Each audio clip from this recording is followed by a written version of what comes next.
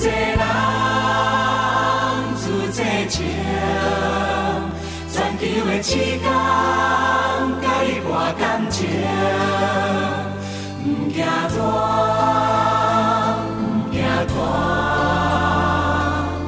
咱来合唱生命的歌，咱来合唱生命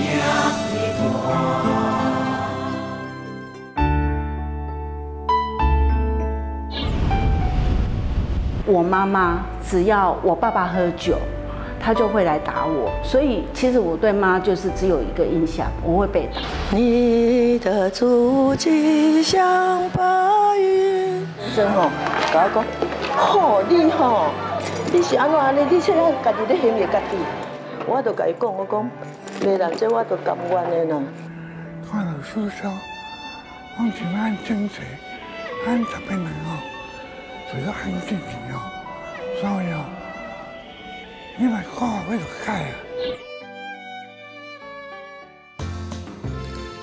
各位观众朋友，大家好，欢迎收看《见证台湾新美丽》，我是大清。那今天我们看到了这些呃预告的片段，呃，也请了这个三个制作影片的这个团队啊，来跟我们分享一下。当然，今天也请来了非常隆重的来宾，呃，那容我一一为大家介绍一下。那分别是我们有这个医生，也有这个导演，那也有志工的团队，一起来激荡一下，在真实故事的背后，到底有感动人的地方是在哪里？那首先我们先介绍这个台北慈济医院身心医学科的医师，呃，李医师，李医师好。各位观众朋友，大家好，我是李家福医师。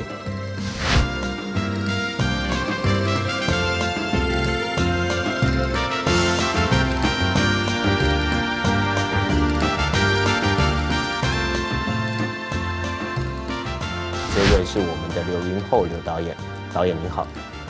各位观众朋友，大家好，我是刘云后。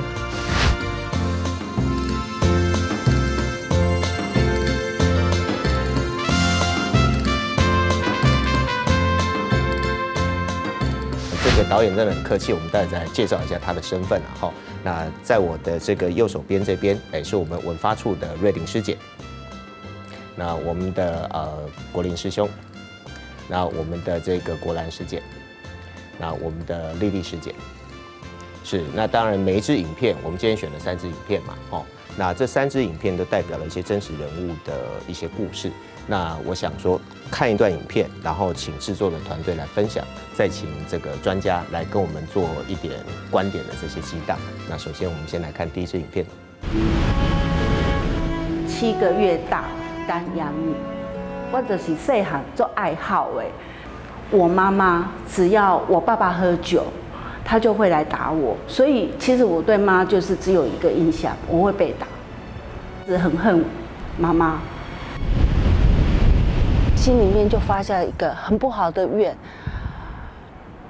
只要我有男朋友，不管他有没有吃喝嫖赌，我就要嫁了，赶快离开这个家。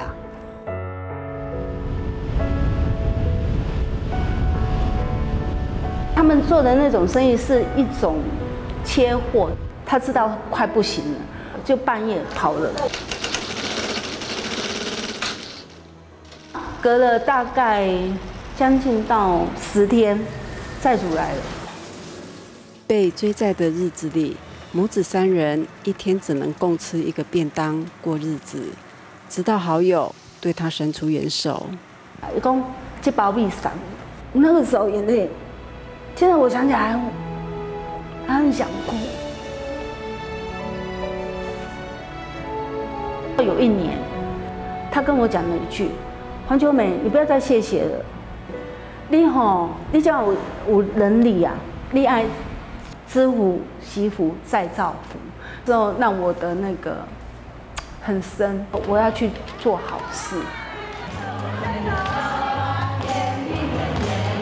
一念善心起，黄秋梅在女儿的大爱妈妈接引下走入慈济，用心陪伴孩子们。上那一年，我很认真去陪伴这些孩子，所以我就在想说，为什么我可以对别人家的孩子是这样，我对我女儿为什么不行？有家事都不会叫哥哥做，然后都会叫我做，然后心里就会不平衡。在教的时候，一两次讲不听，然后第三次我马上用打了斯巴达教育哦。读护症的部分就是，其实他读一年级的时候他就已经有瓶颈了，可是到了第四年，他有跟我讨论我休学好不好，然后老师打电话来告诉我，文林翘课没有去实习，我当下崩溃。我会不会失去孩子？孩子会不会从此就不见了？还好我有找到我女儿啊。可是那时候我就觉得我孩子很可怜，我就给他抱。美工早嫁个妈妈外公，你在看大爱电视，刚好在演燕子那出戏。她的状况跟我差不多，她婆婆生病了，她为了照顾她生病的婆婆，她就把这个牛排店收掉，然后一心一意照顾这个婆婆。我被这个燕子。感动到，就那时候对我妈妈，我就有心里有一个想法，我真的很对他很不好。即使你有那个叫一技之长，可是没有人给你顾小孩，你这些小孩还是会变成外面的流浪汉，会去给人家打架闹事。所以后来我真的很感恩我妈妈。以往恨之入骨的母亲，为记前嫌，代为照顾儿女。而感恩忏悔的话，却一直未能说出口。此刻。妈，啊，没没没，好好好好好。这是我好了好了，过去就好了。我代志，代志我无啊。即嘛，即嘛做阿嬷啊啊啊啊，迄落啊，做迄落，那会会晓想啊，迄落迄落好啊，起来起来起来起来起来起来起来起来，快去就快去，伊即，啊。透过本次影片制作。三代之间找回彼此的爱，黄秋梅与杨木感情更好，而女儿对她永远有说不完的话。我们来请教李医师，就是说从呃身心医学科这样的一个角度看一个人生命受到这么大的逆境，那个力量哪里来？他怎么转他那个劲？对，其实我看到了，就是说在我临床上面哈。呃，很多很多类似这样个案，虽然刚刚他们在说拍摄的时候，呃，要要去找要去找题材，好像不太容易找。但是在在我我每天的日常生活的门诊的个案当中，其实看到太多太多类似像这样子一个情境哈。所以说我我觉得呃非常棒，非常感恩，就是说有这个机会，呃，看到看到这样的影片哈。那呃我我看到是哈是呃一个一个从小就在一个不是。呃，对他很良好的一个环境下长大的小孩，哈，那虽然说他的养母其实对他是是已经算是很棒的、很好的，可是他他会怎么样？会从小会把呃生母对他的那个呃没有妥善的照顾，以及他整个环境，就是把他去呃扩大扩及到他所碰到所有的周遭的人与事，那始终在这样子一个负面的情境下。成长时候很容易怎么样？很容易把这些负面的情绪哈，就是代代相传下去。那怎么样子去突破困境？常常就必须要走找到一个时间点哈。呃，我觉得刚好这一次呃，因为透过这样一个拍摄，所以呢，呃，一开始是他小孩大爱妈妈的接应，然后到最后，呃，因为我们这样子一个真善美团队的介入之后，他刚好有一个时间点，就能够怎么样？能够对他妈妈说出忏悔的话。呃，一旦这个这个冰点这个僵局突破之后，你就看到它改变了，它重生了哈啊！所以，我我我觉得我我非我非常呃期待哈呃，我们有更多这样子的的的作品能出来，而且都是非常真、非常善的作品。那这样子就可以让更多的人哈，甚至我以后在门诊碰到有类似干的时候，我就。请他 就哎看一下这部影片啊，就 OK 了。对，这次收起来当做药方之一。哎，没错，哎，这是心灵的药方。是不是请瑞玲师姐先很简短的回馈一下，说，哎，这支影片在您看到的时候，你觉得说，呃，有什么可以回馈给我们的职工？我觉得这就是做真善美最有欢喜的一刻。有的时候我们是在完成自己的作品，其实也是透过分享的过程里，我们看到人生，但是也让分享的人重新去回顾他的人生。有时候我们也觉得我们的麦克风还蛮像心理医师一样。呃，当然我们的倾听是非常重要的，对我们是一个很大的考验。不过因为这个作品本身它的跨度非常大，它涵盖了三代之间它的人生跨度，也因为人生跨度很大，它的元素很多，人跟人之间的关系啊，里面的情绪，从他个人到两两对立的关系，所以他很多紧张的情绪还没有完全化解的时候，当我们要去介入、去进入。呃，去记录的时候，其实我觉得对我们的职工会是一个很大的挑战。就是其实这是有点他家里的事情，他是不是已经完全准备好要去做全盘的揭露？那以及这么大的跨度里，我们要从哪个切入点去介绍这个故事？对，那我觉得我很感动的是，这个团队他们抓住了一份孝心，呃，保留这个最基本的一个元素。当然，我们还可以看到，或许其他东西可以更简单，让这个元素可以更清晰。一个人从。他的母亲的这个理解，到后来的释怀，到他的改变，我觉得光是这一点，他的整个改变历程，就是一个非常好的故事的本质了。嗯，所以其实瑞林也点出了今天为什么要邀请专家来到现场哈，就是说当我们在做影片的时候，常常是自己制作团队嘛。那我想先请教刘导演，好，那我们再把这几支影片先给刘导演看。那导演真的很花时间呐，他自己本身忙得不得了哦，拍纪录片，然后也是这个我们金钟奖的这个最佳摄影，那也得过金穗奖，真的很感谢你。是不是请刘导演跟我们分享一下这第一支影片，您看到之后您的感觉？就是这部影片，我觉得它的架构很完整，就是呃一个人物从他的呃开始。他的历程，然后到最后的忏悔，还有感恩，其实非常的完整。然后还有他的开头，呃，那样的一个设计，就是因为过去的事情我们可能没办法透过画面记录，然后他透过让主人公带到海边，海本来就有一个洗涤、洗涤心心灵的一个呃作用，然后让画面也能呈现他的困境。我觉得那开头很好，很有专业的水准。对，然后故事讲得很清晰，我觉得蛮动人的。问一下导演哈，就是说，因为我们呃希望就是说用侧录的方式哈，然后可以让主角就在在陈述的时候会比较自然一点哈，那不会那么的紧张。所以我们我们这一次就尝试说，呃，因为我们片中有看到妈妈是在拖地嘛哈，那扫地这样子，那我们这个过程当中我们去做侧录，结果我们发现我们问问题的时候，可能人不小心就入镜了。那结果我们师姐在剪的时候，她说：“哦，好痛苦，有很多很好的画面，但是因为有闲杂人等进去了，所以就没有办法用。所以他们要我说，一定要问导演说，呃，我们在侧录的时候，到底什么时候是最好的提问的时机点，最恰当？”嗯，就刚刚讲的比较纯技术面，就是我们的工作人员进到画面，那其实工作人员。必须知道清楚，我们现在是在一个拍摄状态。即使我们聊天是一种用很自在的方式，因为这样比较能够突破受访者的心房，让他能侃侃而谈嘛。那可是工作人员要很清楚，我们有在拍摄，所以他要知道哪些范围是不能进去的。即使他，可是他当下还是一样是很进入状况，进到受访者的心灵里面，跟他恳谈，想要挖掘一些事情这样子。自己心里要有画面，工作人员心里要有画面，就哪些那个画面之内，我就尽量不要进去，除非是说受访者跌倒或怎样，我们去搀扶帮忙一下这样。然后你提到说，你说还有受访，那就是边做日常生活的事情的时候，什么是比较好的提问点？其实他这样做家务事，然后你在旁边拍，他都是很清楚的，他知道你在拍他。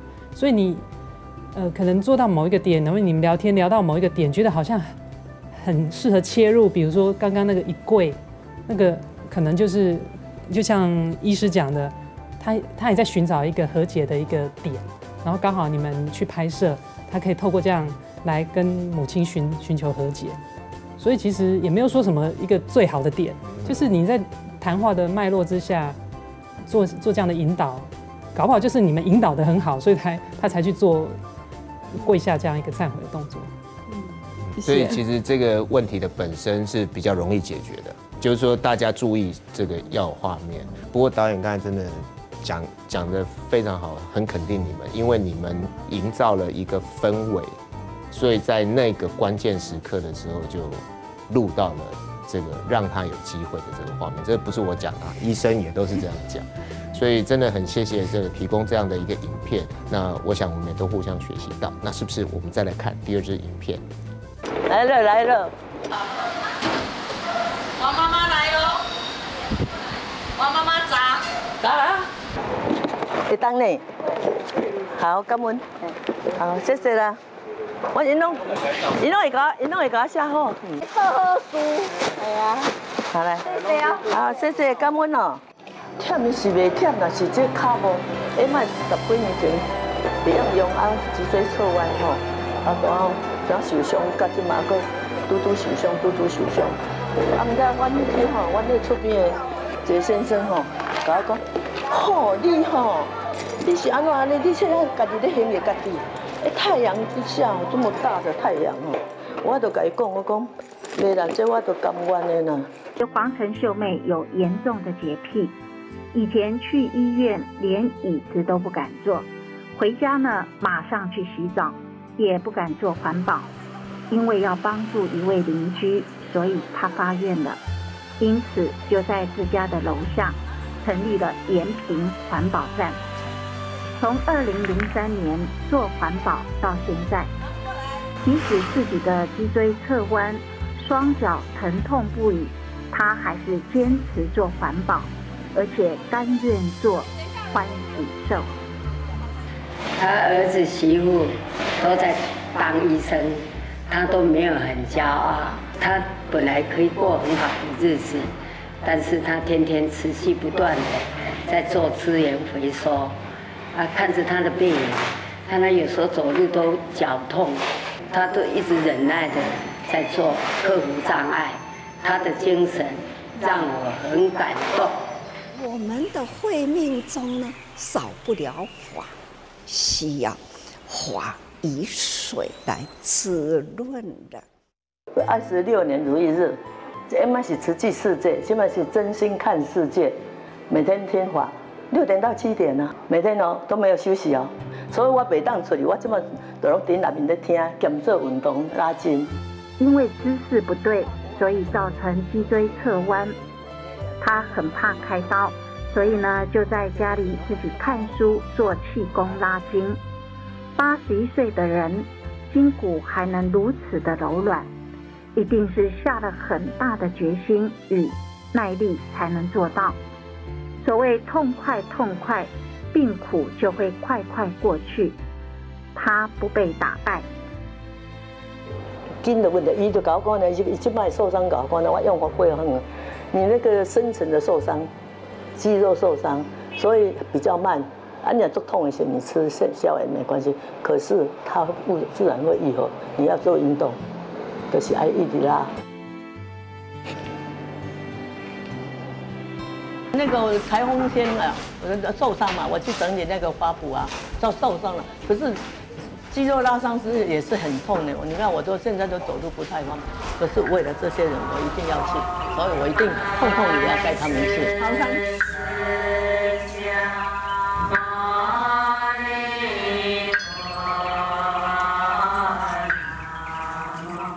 这次潮汕以后，我我希望能够跟着秀妹师姐的脚步，哎，做着环保的工作。我走这个慈济路哈，是我今生永远。一件大事，而且我不会，我不会后悔，全都不会。我我从前是一只起了鸡哦，起了鸡吼变成变成满祖通，智慧打开了，责任的开始，我们要更承担未来我们的瓷器。呃，这一场我想先来请教医师一下哈，就是我觉得每一个人那个精神力，哎，真的是好像潜力无穷。就像呃，好像经过了这个样子身体的不适，但是他还是能一直一直克服。我还是想请教您，这个力量是怎么样涌现？好，其实我们在秀妹师姐这边身上，我们看到了，其实这就是真正所谓的身心灵的健康。好，呃，我们我们现在目前其实人在追求什么，就是一个身心灵的健康。可是如果你要是问，呃，大部分不只是环保站，就大部分社区的老人的话，他们其实有一个共通点是什么？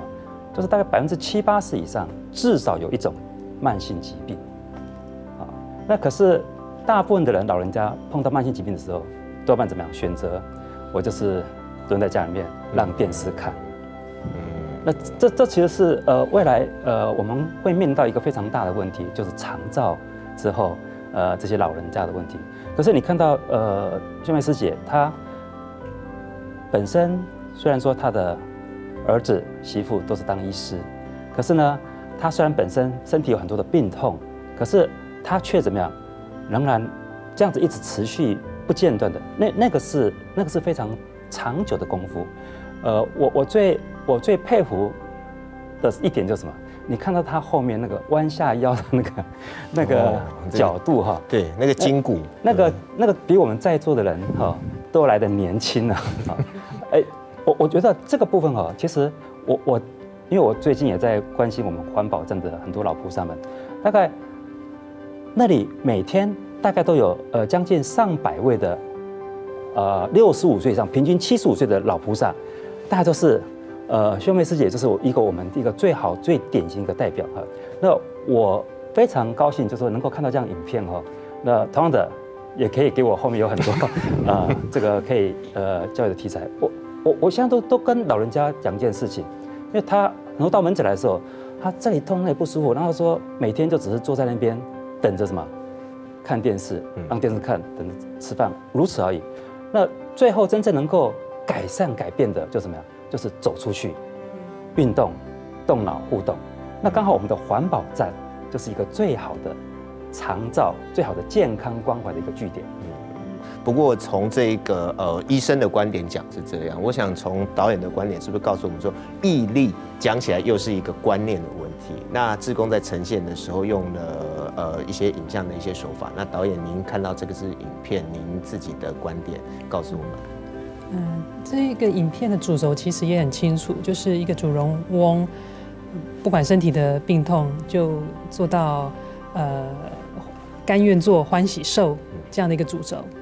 那这个清这个呃这个主轴很清晰，那呃主人翁也很动人，也很也很能表达。那我觉得比较呃比较呃美中不足的。就是可能就脊椎侧弯的问题，因为影片中好像没有提到他是因为长期做做这样的一个善事，发心做善事，以至于没有照顾到自己的身体，以至于脊椎侧弯。可是后来他又透过呃不断做复健，呃维持自己的身体的强度，然后为的是什么？继续做发心做善事，就是这样。其实这样会让这个主人翁，就是他的特质更。更动人，嗯，因为已经他这样的主人公已经蛮动人的，可是如果我们再加进这样一个观点进去，就会更打动观众。嗯，就是在强化他这个所谓生理上面这么不适，但是依然坚持这样的一个感觉。对对对。是导演先回答第一点了哈，那果然师姐，你们团队这边有没有问题要请教导演？这就是一个影片哦，主轴真的是很重要，对不对？那呃，很多职工他其实做很多的职工服务啊，那要怎么样有什么样的重点去发现这个主角的一个特质？其实真的就是要长期培养自己观察的能力，就是嗯，大家透过呃，不管这个是是不是一个长照中心，可是每个人会来到这个地方，一定有自己自己生命的困境想要解决，或者是想要想要突破。那你怎么去看到每个人的需求、心心灵的需求？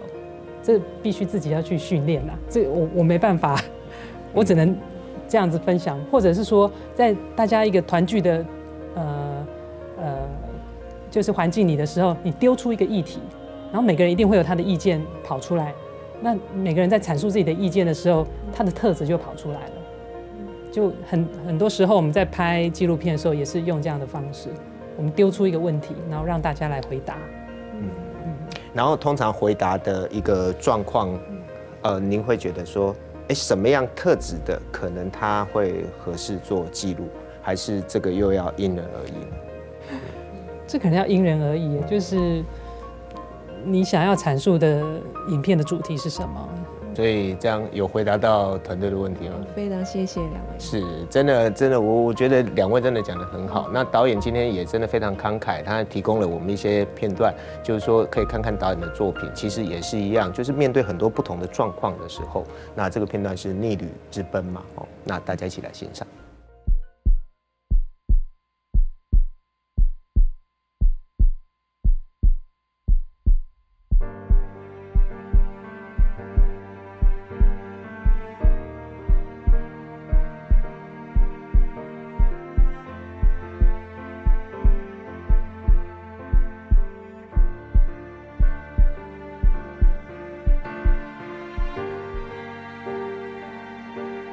级马拉松哦，不是一般人可以挑战的，但是你还想去挑战它，你要经过很严格的训练才能去克服那种环境，挑战你会有又会有非常大的成就感。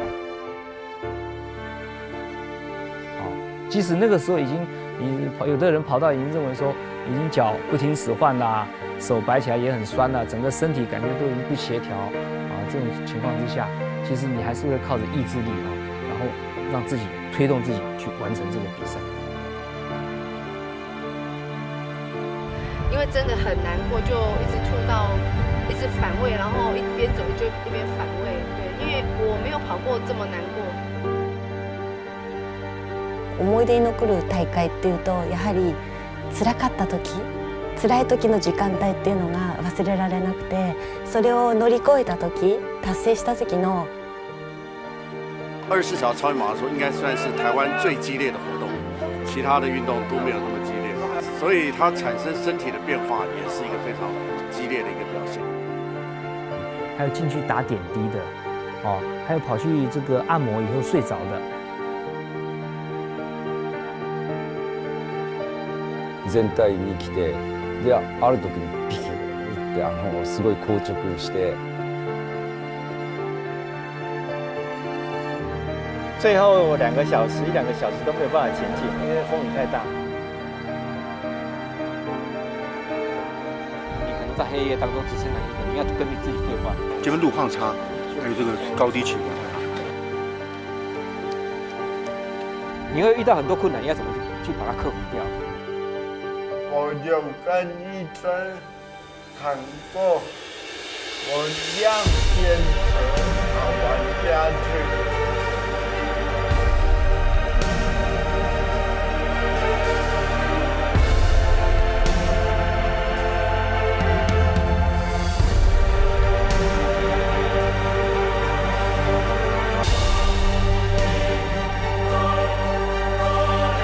しい時間帯が苦し苦しいほどあの終わった時の達成感っていうのが大きい喜びに変わりました。まあ単価に乗って釣られたらもうその時点で多分もう終わっちゃうんでね。我一定要在终点上，因为终点上一定有很多人为你欢呼。其实这个就是超马哦，一种体力、呃意志、精神的煎熬。你一旦进来之后，你不知道你自己的极限在哪里，好像它一个。无限的宽广，你要想要超越自己。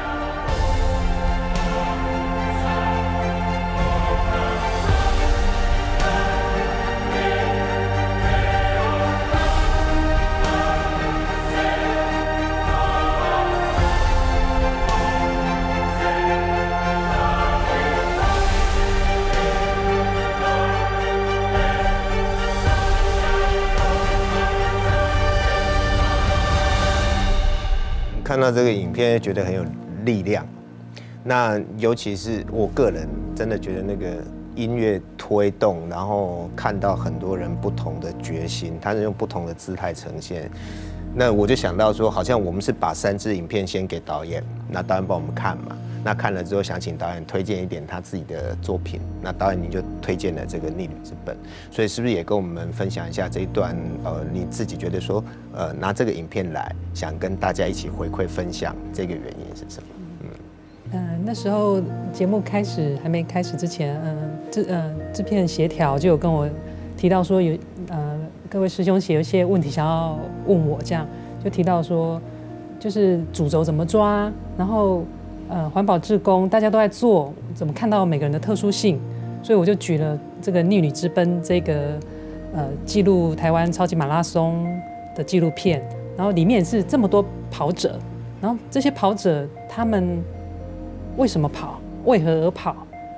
那我怎么在这么多人或台湾这么多呃马拉松的赛事里找到呃每个的特殊性？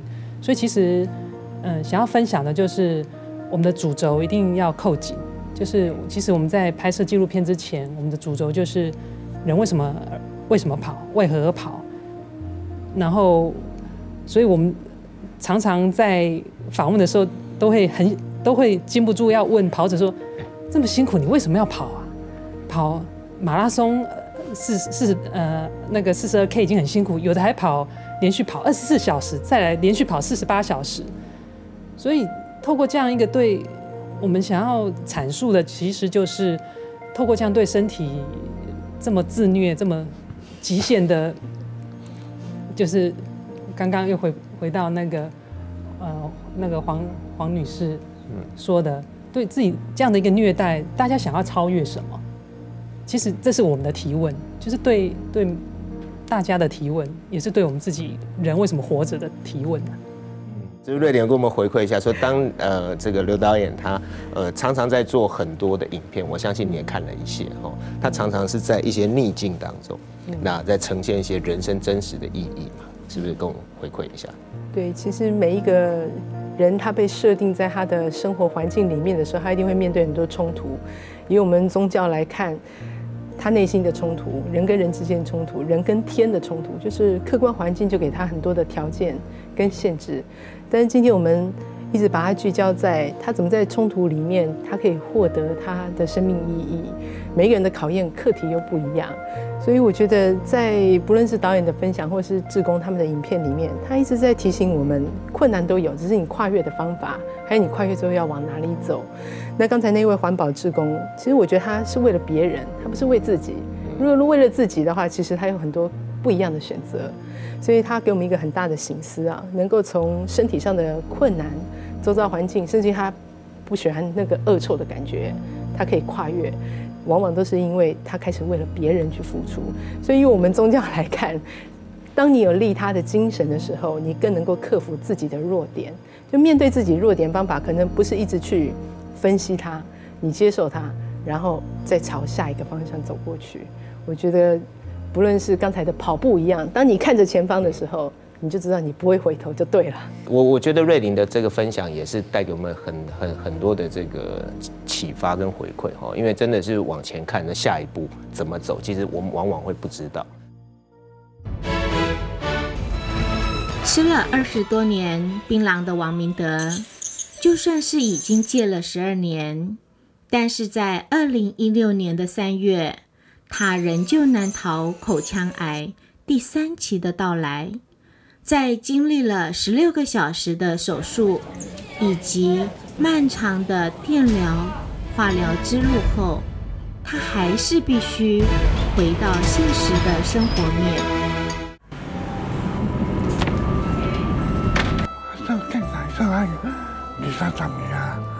啊，我哋，我做嘅细哦，嘢食饭哦，我是不能不能问，没说别啊。所以我比赛哦，係稍微強啲，就是啊，你不能？會出邊，就是我就不能？在你就話你要開未掉，他就我已經明啦，日本人做成啊，參加呢環保，那麼進來正式培训，看到書上。我只按精髓，按特别能哦，主要按精神哦，所以哦，你来看为了开啊。进前我们，我实际上带入来时，都我拢啊做先来营养，啊，就对个车，哦，啊，我就对对车对营养，若那些无营养，就下面是啊，有那些我若要欠袂讲，啊，王师兄我都欠完钱的，啊，若伊拢无计较，啊，无少个时间拢。咱伫家人又专工走三年半，甲再限时啦，还是伫那的新店哦，拢有啦，甲早安早安时安啦。啊时啊时间的那种对甲拢真好啦。即摆伊迄分分手迄分两个都无车啊，拢甲甲吹车你下面下面那下面师傅结缘啦。黄师兄吼，较早咧工地拢会送进，啊，造成今仔日遮尔无好啊，即摆来话拢送番薯互我食。医生跟讲说是可能就是癌症，口腔癌，然后又去又是三期中，出出诊是三期中，已经无偿找到我们了，我们还是要去面对啊，坚持啊，不然怎么办？哦，只有接受医生的治疗，还还好啦。当初虽然是有阻止他参那个那个加入慈济，可是现在回想起来还是后嘎仔啦。诶，师兄要在治疗的过程当中，可能是一个月啊，然后就是每天都要到慈济医院啊，因为我在工作在做生意，我真的没有办法说每天这样陪他去医院。然后这生病当中，哇，好多师兄哦，他们他们那一组的师兄真的是很关心呐，很关心我家的民德师兄啊，真的很感动。我哋两张菩提看了上面开心啊！哦，接下来请继续收看《人间菩提》。啊，就做啥呢？咱病迄阵时啊，有朋友是我是书生哦，叫迄老师写。我感觉上面讲出话哦，啊，就真正都要讲的，我真感动啊！所以哦，我病也饱好，我用这个付出的。因为听到上人开示为众辛苦是正途，这支撑着王明德师兄勇敢的去面对他生命的无常。王明德告诉自己，只要他能够活着回来，他一定要把握当下，在慈济的道路上更努力的、更精进的做就对了。也就是说，当我们在拍别人，看到了很多别人的生命，好像生命在激荡嘛。那是不是？我想先请导演跟我们分享一下，说当您收到看到这支影片的时候，那您的观察是什么？这部影片其实看到各位师兄姐的互相扶持，嗯，就是嗯，这个感情是很浓烈、很很很 touch 人的，就是嗯，因为。这部影片它比较感觉主角好像没有完全跳出来，就是只是在记录，就是记录记录呃林师兄他因为疾病，然后可是还是努力不懈去做善事，大然后大家的扶持，嗯，比较没有彰显出说他真的得到启示的那一句话。嗯就是为众辛苦是正途。他本身遭遇了什么样的辛苦？呃，疾病疾病的辛苦，还有在这样的辛苦之下，他又做了哪些辛苦的事情，然后来回馈社会，来回回馈。就是这个主轴比较没那么清楚。不过就是那个情怀，就是彼此之间的扶持，这个情怀是很感人、很感人的。就是从他这些镜头当中，你就看，好像很多人在一一直在。帮忙他，对，帮助他，对。但是说他自己如何突破所谓的难这件事情，好像就琢磨少一点。对，比较少，比较没有没有看到这一点。如果能够再更清晰的记录到这一点，一定更感人。嗯嗯，这个是导演的肯定跟观察。然后，那我们来请教一下医师，就说您看这个也在新念慈济医院治疗嘛？好像我们通常得到一个癌症，都会有经过一些心理上的一些变化，是那那不是很容易克服。特别是针对癌症的部分哦，你知道，现在目前在全国的有关在癌症治疗的时候，特别有加入一块，就是癌症的相关的一些心理智商的一些一些辅导哈。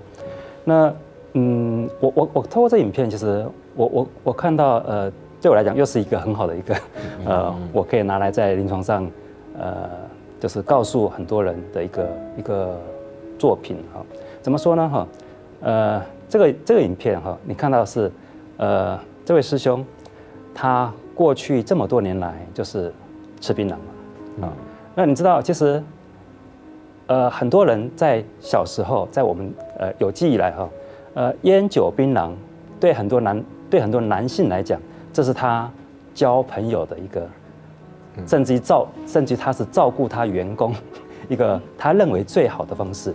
那因因为以前从来没有人告诉他这个方这个方法是不对的，这个这个观念是错误的。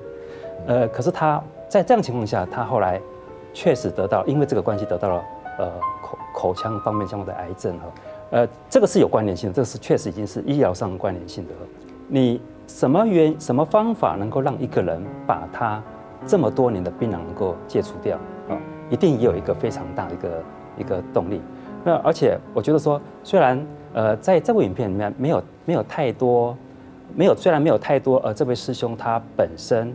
情绪上，或者是他故事里面的那个那个经历，你知道那个那个癌症那个治疗是其实是是非常难过痛苦的。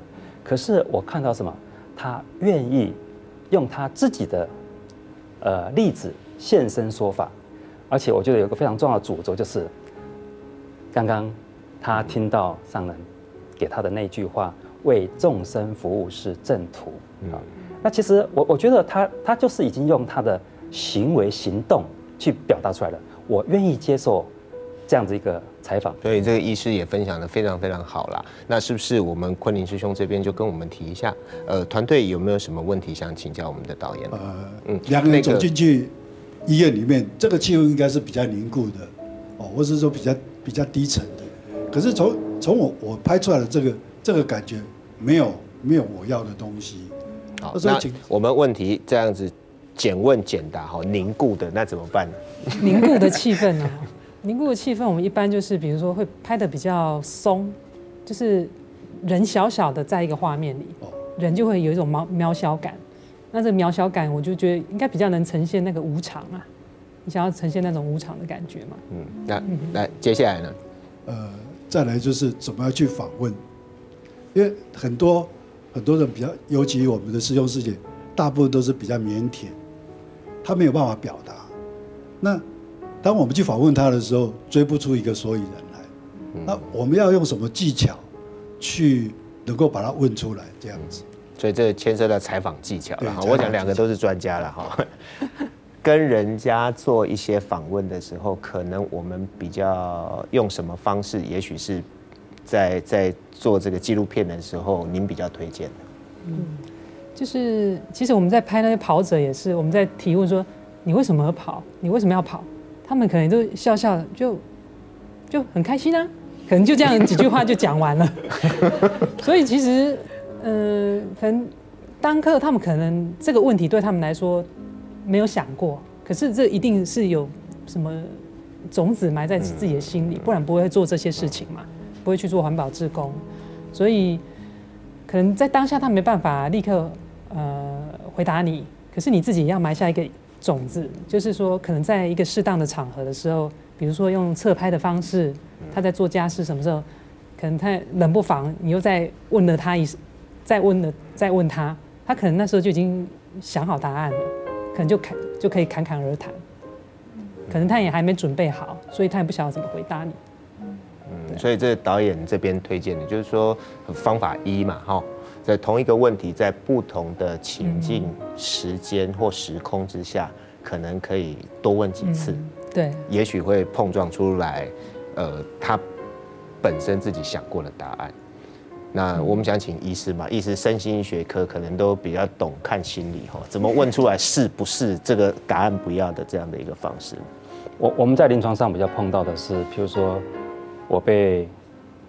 开了接了一个会诊单，要去临床照顾，要去会诊一个个案，啊，比如说是一个癌症的个案，啊，那其实，呃，第一个，我到现场去的时候，我一定要先把自己的心先安定下来，而且我先要给自己有足够的时间。这个足够的时间是什么时间呢？就是我是不是，我如果后面马上还有急着要去看看什么门诊，那要很多事要做的话，我我就不会，呃，选这个时间哈。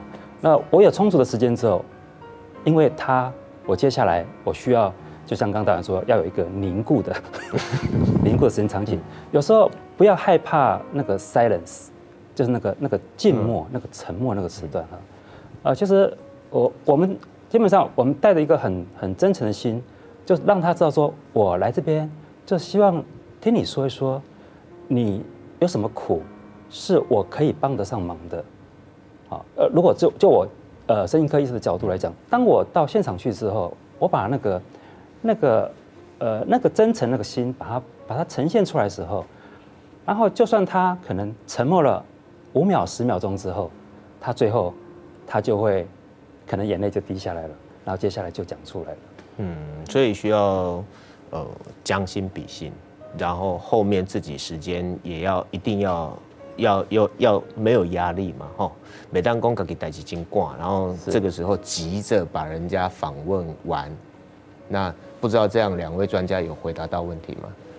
哦，是吗？哈，对，这样。那所以我想这个最后啊，节目的这个最后，因为大家呃这些作品都是真实的故事，是不是？我想请两位专家给我们做最后的一个结语，就是说纪录片它的这个真正它的意义啊，真实故事可以带给我们的力量是什么？是不是？请医师先讲。